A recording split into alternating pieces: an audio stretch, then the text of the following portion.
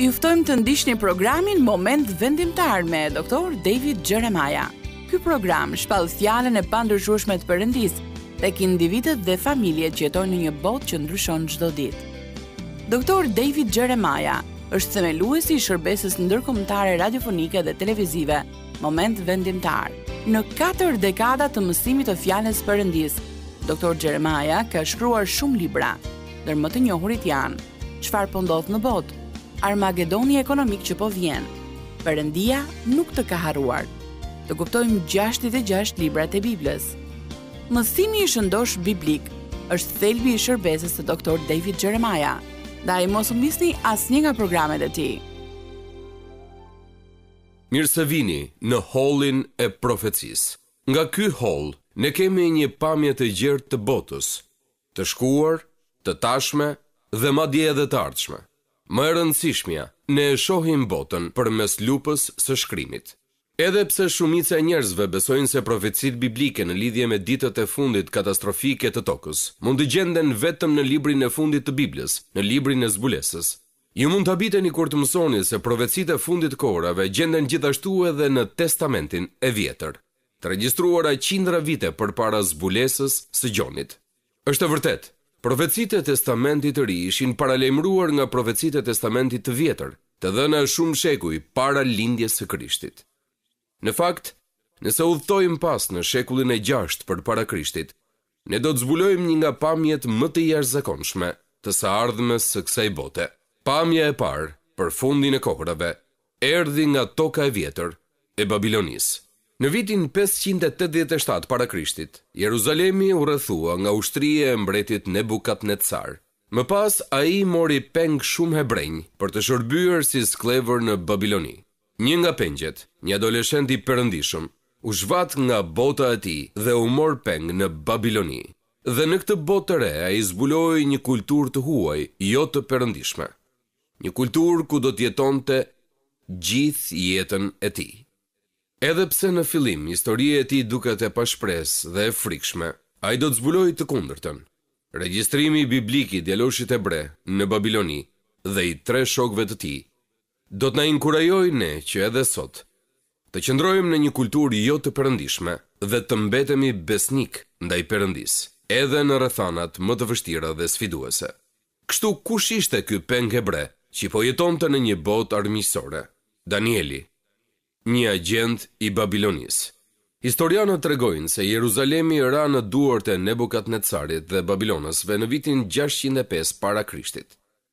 Dhe na thotë gjithashtu se mbreti mori shumë pengje hebrenj nga Jeruzalemi për në Babiloni, duke e lënë Jeruzalemin të shkretuar vetëm me pak njerëz të varfër, të moshuar dhe të pafuqishëm që mbetën atje. Për shtatëdhjetë vitet në vazhdim, njerëzit e Judës do të jetonin jo në Jeruzalem, ku donin të ishin, apo ku kishin vendin, por do të jetonin në Babiloni. Në një gjendje të vazhdueshme turbullimi, nën kontrollin e rreptë të babilonasve, të medo-persianëve dhe të persianëve. Unë e di se shumë njerëz gjithmonë kanë menduar se përse ata duhet të ishin në robëri për shumë e shumë vite. Atëherë përse ata jetuan në robëri për shtatëdhjetë vite? Jeremia flet për këtë në profecinë e tij, Isaia flet. Dhe kjo është një arsye me vend, dhe nëse studioni Biblën do ta zbuloni këtë. Zgjatja shtatëdhjetëvjeçare nën robërinë babilonase nuk ishte një numër i zakonshëm. Ky numër nuk u zgjodh pa qëllim, kishte një arsye për këtë dhe më lejoni ta shpjegoj. Tek dy Kronikave ne lexojmë këto fjalë. Që kështu të realizohej fjala e Zotit që u shqiptua nga Jeremia, derisa vendi të kremtonte të shtunat e tij. Ai kremtoi të shtunën për të gjithë kohën e shkretimit, derisa u mbushën shtatëdhjetë vjet. Tani ja çfarë ndodhi. Kur populli i Izraelit shkoi në Tokën e Premtuar, ata ishin urdhëruar nga Perëndia i Plotfuqishëm që një vit çdo shtatë vite ata duhet ta linin tokën e tyre të pambjellë dhe të pakultivuar, pa hedhur fara. Ata duhet ta linin tokën e tyre djerrë. Mirë, judenjtë e bënë këtë për një kohë të shkurtër, por pastaj u bënë lakmitarë, dhe ata vendosën, epo nëse e mbjellim këtë tokë në vitin e shtatë do të kemi më shumë të korra, dhe kështu ata nuk iu bindën Perëndisë, dhe ata vazhduan me këtë mosbindje për katërqind e nëntëdhjetë vite. Kështu kur Perëndisë i erdhi në majë të hundës me këtë, ai vendosi t'i nënshtronte ata në robëri për shtatëdhjetë vite. Shtatëdhjetë herë shtatë është katërqind e nëntëdhjetë. Kështu, ajo që ndodhi ishte se Perëndia u tha atyre se Ai donte një Shabat dhe ata nuk ia dhanë këtë Perëndisë. Dhe Ai e mori vetë. Sa nga ju e dinë se nëse nuk bëjnë atë që Perëndia do që të bëjnë, nuk do të thotë domosdoshmërisht që ajo nuk do të bëhet? Është më mirë të bëni atë që Perëndia ju thotë të bëni, kur Ai ju thotë ta bëni, kështu që ju ta bëni atë dhe të mos i duhet Perëndisë ta bëjë. Për shtatëdhjetë vite, ata ishin në robëri, sepse ata refuzuan të bënin atë që Perëndia u tha të bënin. Dhe Perëndia vuri babilonasit, kombin më të lig në botë në atë kohë, që të kryente gjykimin e tij. Biblia thotë se kjo ishte urdhëruar nga Perëndia, është interesante, është vërtet ironike. Perëndia ktheu të ligën kundër të ligës për të realizuar të mirën. Ai i vuri babilonasit të ndëshkonin izraelitët për të nxjerrë diçka të mirë. Dhe tani dëbimi i madh që ka ndodhur. Pas humbjes së madhe ndodhi një dëbim i madh vargjet dy deri në shtatë. Këtu lexojmë këtë, Zoti atëherë dha në duart e tij një pjesë të orendive të shtëpisë së Perëndisë, që ai i transportoi në vendin e Shinarit, që është një emër tjetër për Babiloninë, në shtëpinë e perëndisë së tij, dhe i vendosi orenditë në shtëpinë e thesarit të perëndisë së tij. Ai i mori kupat dhe ai i mori enët dhe të gjitha orenditë e bukura që Salomoni kishte vendosur në tempull, për të fuqizuar adhurimin e Perëndisë së Plotfuqishëm, dhe ai i rrëmbeu ato enë dhe i mori me vete në Babiloni, dhe i vendosi ato në tempullin e një idhulli. Sepse, dëgjoni, në atë kohë, kur dikush mposhtte një komb, mendohej se ai kishte mposhtur edhe Perëndinë e atij kombi. Dhe kur ai i merrte të gjitha gjërat dhe i vendoste në tempullin e tij, ishte një kujtesë për këdo që e dinte se, se Perëndia Marduk e kishte mposhtur Perëndinë e Izraelit. Ishte një fitore që nuk zgjati shumë, siç ju e dini. Kështu tani, Nebukadnetsari kishte orendi të tempullit në shtëpinë e idhullit të tij. Dhe ai kishte disa djem të rinj të zgjedhur të Izraelit, në Babiloni, dhe ai kishte filluar t'u bënte atyre trajnime, që kështu ata të bëheshin përfaqësuesit e tij në mbretërinë ku do të kishte edhe shumë njerëz të tjerë judenj. Për të qenë një pjesë e programit të Nebukadnetsarit, ju duhet të plotësonit disa kushte për t'u zgjedhur. Dhe ne lexojmë për këtë në vargjet tre dhe katër të Danielit një.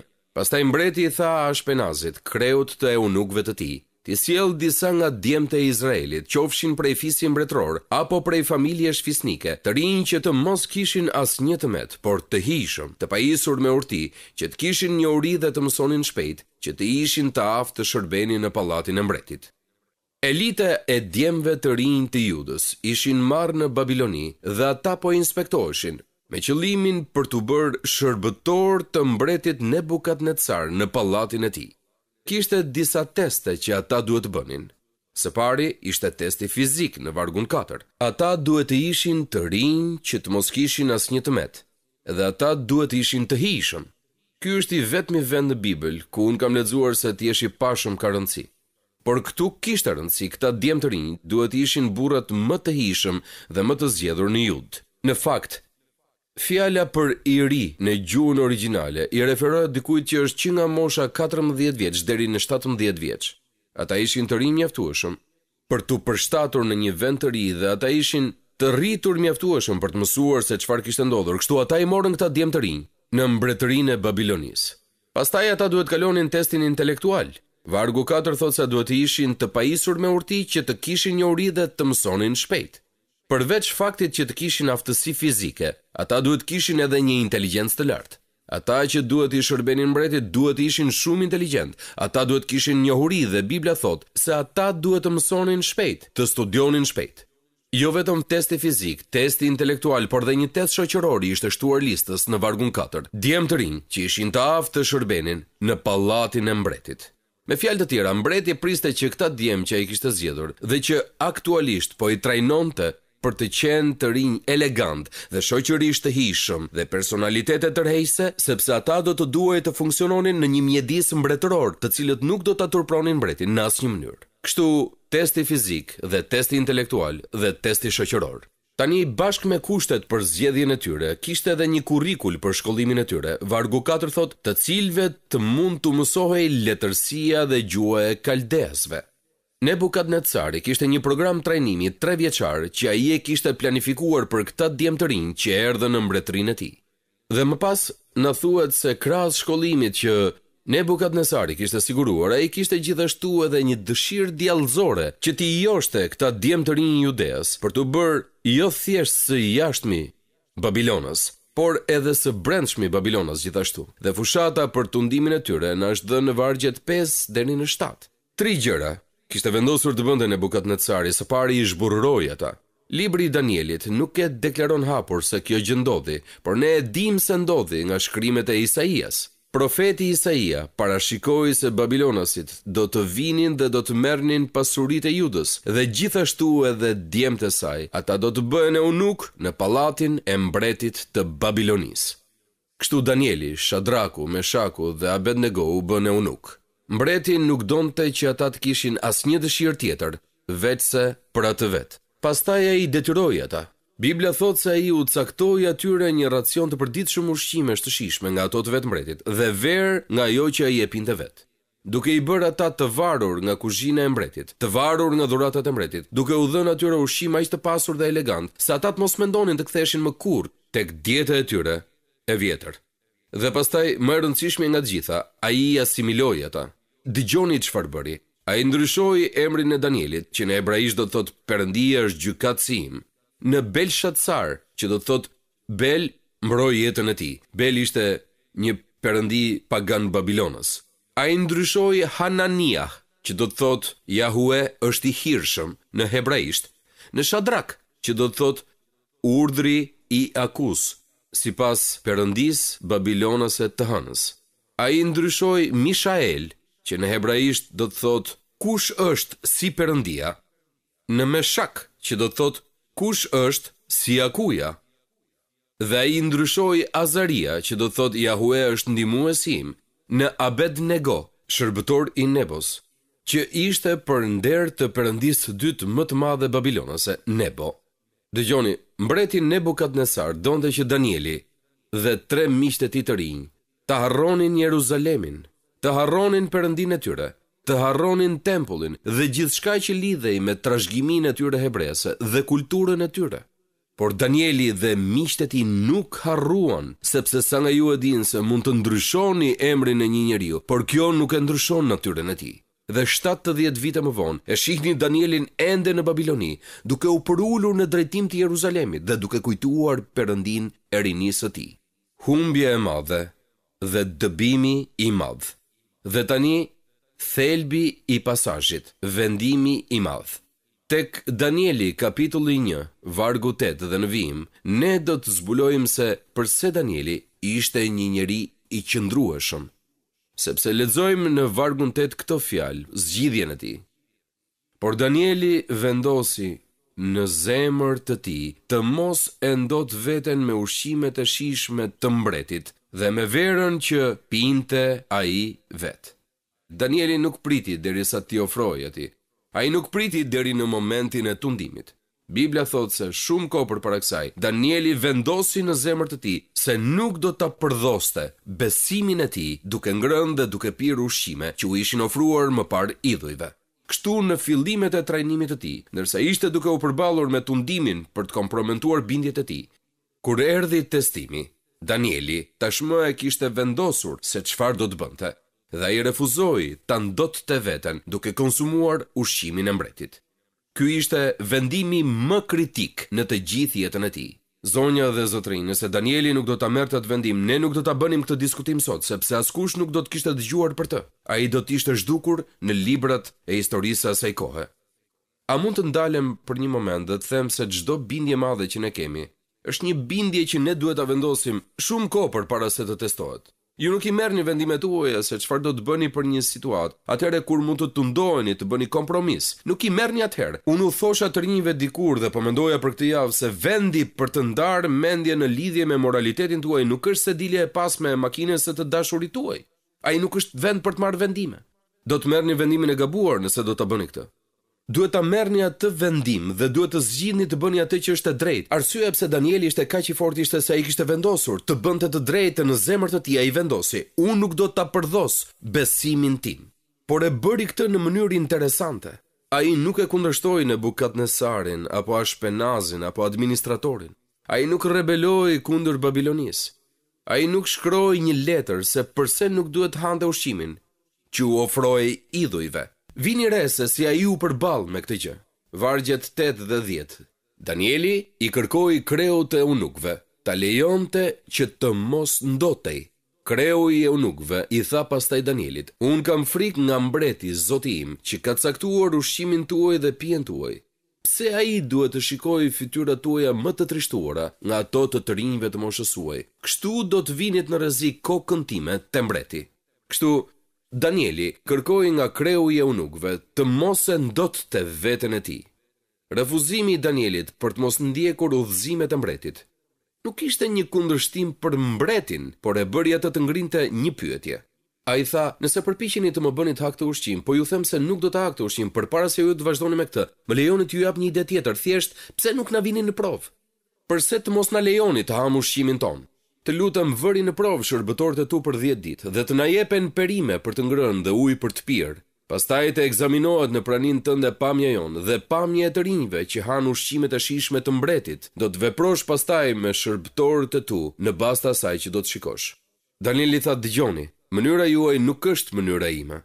Më lejoni të them mënyrën time dhe më lejoni t'ju provoj ju se mënyra ime është mënyra e Perëndisë dhe mënyra më e mirë. Na jepni ne dhjetë ditë të hamë ushqime që nuk vijnë nga tryeza e mbretit dhe në fund të këtyre dhjetë ditëve na ekzaminoni dhe shihni nëse jemi apo jo më mirë se ata që hanë ushqimet që u janë ofruar idhujve.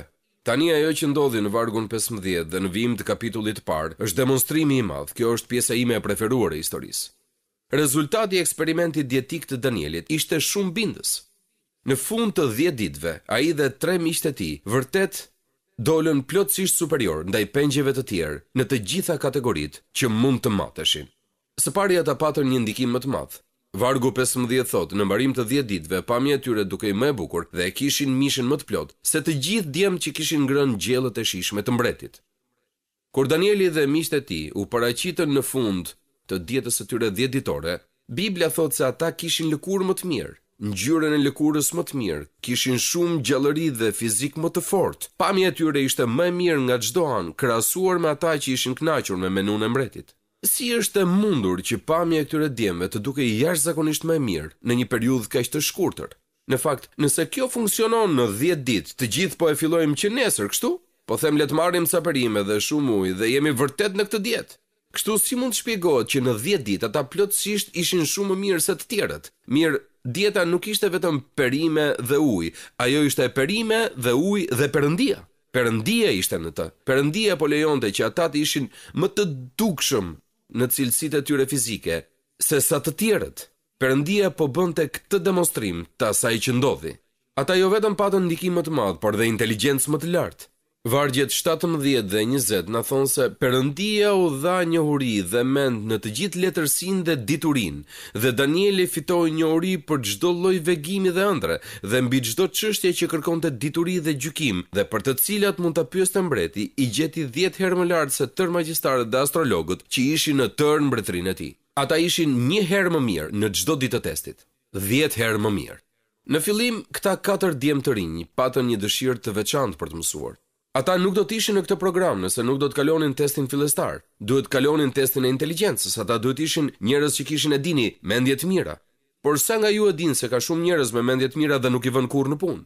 Dhe është e dukshme në këtë histori se Danieli dhe Meshaku dhe Abednego dhe të gjithë këta djem kishin punuar shumë, jo vetëm me atë që u ishte dhënë atyre, por edhe studiuan shumë dhe shkuan në shkollë çdo ditë dhe ata mësuan gjuhën. Mua më pëlqen t'u them të rinjve bazuar tek aftësitë e tyre, qofshin ato aftësi intelektuale apo aftësi sportive apo aftësi muzikore, janë dhurata e Perëndisë për ta. Por ajo që ju bëni me to është dhurata që ju i ktheni Perëndisë. Dhe Danieli dhe tre miqtë e tij ia kthyen dhuratën Perëndisë dhe ata studiuan shumë dhe Bibla thotë se kur mbreti i ekzaminoi ata pas testit, Ata ishin shumë më mirë se kushdo tjetër, në fakt, Danieli ishte më i suksesshmi i klasës së tij.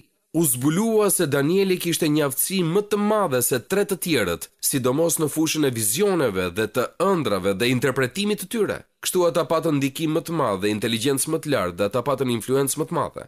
Në mbarimin e kohës së caktuar, vargjet tetëmbëdhjetë dhe nëntëmbëdhjetë, nuk u gjet asnjë si Danieli, Hananiahu, Mishaeli dhe Azaria. Prandaj këta u pranuan në shërbim të mbretit. Ata u diplomuan dhe u ngritën në pozitë. Dhe tani ja ku jemi këtu me këta katër djem hebrenj në pallatin e mbretit babilonas. Në një vend ku Perëndia do t'i përdorë ata që të ndryshojnë gjërat që ne do të shohim në të ardhmen. Ai i nxorri këta djem të rinj nga qyteti i Jeruzalemit Ata kaluan përmes programit të trajnimit, duke mbajtur besimin e tyre tek Perëndia, dhe tani ja ku janë, në pallatin e Nebukadnetsarit. Dëshmia e madhe për Danielin është në vargun njëzet e një të kapitullit të parë. Nëse nuk i keni Biblat me vete, shiheni në ekran, kjo është ajo që thotë Danieli një, njëzet e një, Kështu Danieli vazhdoi. Danieli vazhdoi në sy të publikut për pothuajse shtatëdhjetë vjet. Ai jetoi më gjatë se disa nga mbretërit më të fuqishëm dhe mbretëritë në historinë botërore. Dhe ai jetoi në një kulturë që ishte plotësisht pagane. Përsëri nuk ka asnjë fjalë negative të thënë për Danielin në të gjithë Biblën, asnjë fjalë. Ai nuk ishte i pamëkat. Por ata nuk kanë regjistruar asgjë të keqe për Danielin. Kur drejtuesit e Babilonisë u përpoqën të gjenin diçka për të që ata ta përdornin për ta dënuar, na thuhet në kapitullin gjashtë se e vetmja gjë që ata mundën të gjenin për të ishte besimi i tij tek Perëndia.